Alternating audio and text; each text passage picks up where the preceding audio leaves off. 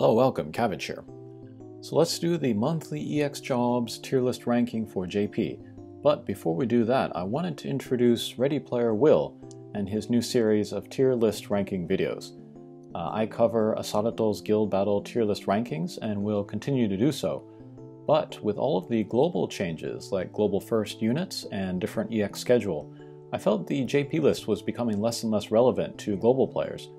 Uh, if I were able to make the global version, I would, uh, but I don't have the right knowledge, so I was thinking, who would be good? And Ready Player Will was the first one to come to mind. Uh, I've admired his channel for a while now. Go subscribe. Uh, he just broke 1k subs. Let's try to get him to 2k. Uh, but he has a lot of charisma, he is well spoken, his videos have good production value, and although he's not the fastest YouTuber out there as far as unit reviews, and he doesn't have to be, uh, he has good analysis and he has his facts straight. Uh, also, and this is important, uh, he's very active in his highly ranked guild, uh, so he can speak with authority on the topic, uh, so he doesn't have to guess at anything. I put the idea to him uh, for the series of videos the other day, and I felt very sorry about giving him more work to do.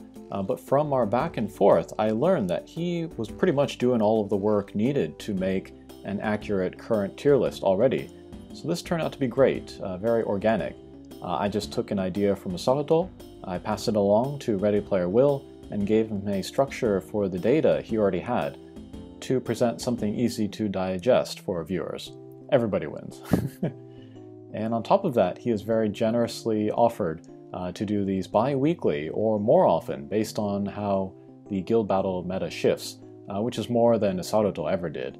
And I was like, amazing, I love it. And then on top of that, he has another new series where he talks about the new maps in guild battles and talks about how the size and obstacles and starting positions affect unit movement and which types of units would be good. And I was like, yes, more. I was trying to wave my arms to get the sound waves to my ears faster. This is the type of content that the game deserves. So subscribe to his channel if you are at all interested in guild battles or just PvP in general. Alright, but let's go to my tier list and uh, like I explain every time, these are units that were released in Global without EX jobs, uh, but have them now in JP. And it's a guide meant to sort of suggest who would be the kind of the safest choices to take to EX jobs. Uh, we have no brainer. I think everybody who has them at 99 would want to take them to uh, 115 or 120. And then going down, we have top, good, and niche. Uh, top units are also excellent choices, but not for everybody. Uh, good are solid picks, but not as good as maybe some of the other ones. And then niche are still perfectly good units, but not for every player. Uh, the players got to want them for a specific reason, I think. And then I differentiate between uh, 120 and 115. Uh, maybe I can save you the last 200 shards, uh, because maybe the units will be good enough at 115. They don't need that last ability, they don't need those uh, last stats, perhaps. Uh, but we'll start at the top. Uh, Gilgamesh is up here in a no-brainer. And another thing I want to point out is that um, for this tier list ranking, I don't take into account uh, the, the current meta. Like right now, uh, Mont and Rain make it difficult for Gilgamesh, but I'm not thinking about that. I'm just thinking about the character in and of itself and I'm also thinking about uh, PvE as well as PvP. Uh, but he is an excellent investment. He's got that uh, slash resistance break, uh, which is still pretty rare. And then Ice slash overall is very nice. Uh, you can get a lot of use out of them uh, doing raids solo. Next is Federica. I'm going to leave her in no-brainer. I've been a little bit shaky on her lately just because of the natural progression of power creep, but I think she's still good enough to be there. Uh, and then the winter units, I'm not going to talk about them anymore. I'm just going to leave them uh, where they are here. I'll talk about them once they uh, get EX jobs in uh, Global. All right, and then we got Super Sterne and Duane. Duane is a no-brainer for sure. Uh, I think he's the most uh, kind of well-rounded character in the game. I said this in a recent video. Super Sterne, however, is not well-rounded. Maybe he does not deserve to be a no-brainer as much as Duane. And then a lot of JP players were uh, disappointed uh, by his uh, kind of his kit when he was announced, his EX jobs. what happens to him is that he gets a new kit and like new stats uh, that make him current, uh, but he doesn't dominate the meta like he did when he was first released. And maybe that's where people uh, were disappointed. I don't think you could go wrong with EX Super Sterne, uh, but the thing is, he's probably still good at 99, even for like raids and stuff, so I'm gonna take him down to top 120. Breaks my heart, but I gotta be honest with myself. okay, next we're looking at a top 120. These are excellent choices, uh, but not for everybody. And then um, Jiza, I really recommended her for people that wanted a counter to uh, Megamont and then like Duane, I think it was. I think they're both weak to uh, Strike. Uh, Rain as well. But is anybody actually using her for that in either version? so I think I'll take her down to good 120. Her job level 25 skill is excellent. It is a single target attack resistance break, which is very, very rare. Uh, so if you do use her, you want to take her to 120. Uh, but I think there are other options. There are other more options to counter Duane and uh, Megamont. So maybe Jiza is not as needed anymore. And I know I just said that I don't take the, the current meta into consideration, but with Jiza, it was like it was like early days of EX jobs, and there just weren't other options. Uh, but now there are, which will be there forever. So that's why I feel comfortable taking her down. Okay, Lasswell, I'm going to leave him at 120, top 120. Uh, again, for the Ice Slash, uh, that will go for regular Sterne as well. I used uh, regular Sterne in yet another raid, the Eyegaion raid, so he's still keeping his value.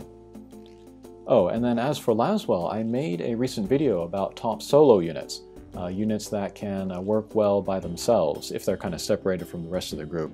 Uh, but his evade and then his uh, barrier are very nice for keeping him alive.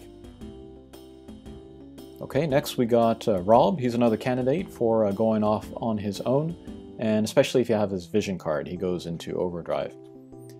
And then we got Rain and then Warrior of Light. Uh, tanks. I say this over and over, but they're some of the most versatile units as far as team building.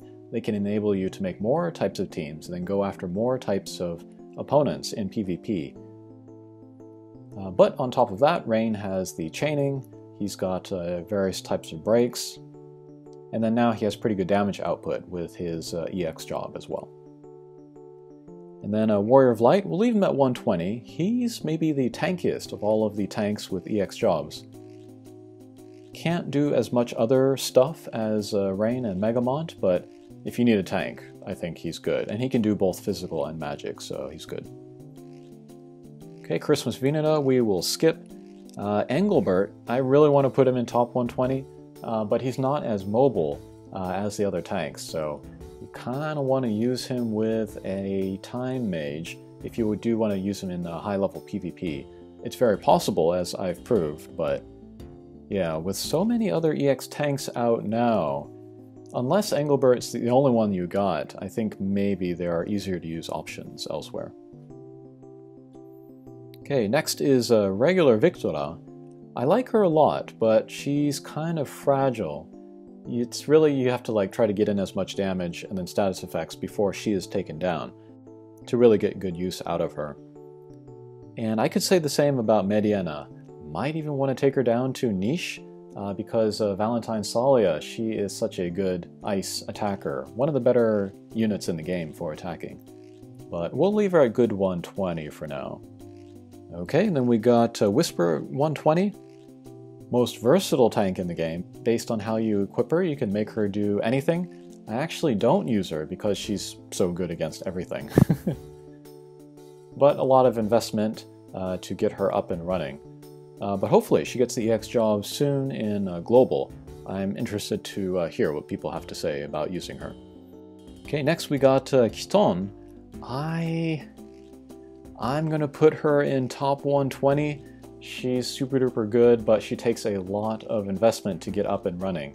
Uh, so yeah, she's not gonna go to no-brainer. I'm gonna put her in top 120 because she does take work to get there, but yeah, excellent unit. And then uh, Veneta, I'm gonna move her up to good 120. Uh, I raised her myself to EX jobs, and it was kind of funny. I made my uh, video about solo units, and then like I made Vineta sound so good to myself that I changed my own mind. and so I took her to EX Jobs. Uh, I'm going to leave her in good, uh, but if you do want to take her to EX Jobs, I think you definitely want to take her to 120 uh, because she picks up a TP skill uh, which can give her more AP points. And this is really major for her. I mean, I knew that she wanted more AP points already because she had a problem with that uh, from the very beginning.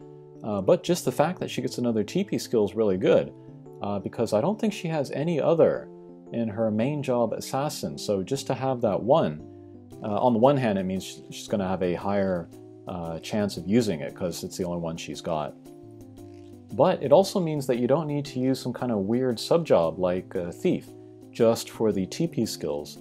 It might also uh, free up the, uh, the Trust Master that you want to use with her, so that uh, job level 25 skill is really important for her. That might really unlock her potential, so 120 for her, for sure.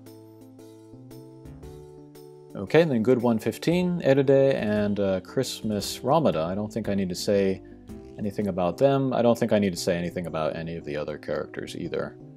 You can check my uh, older videos for stuff on that.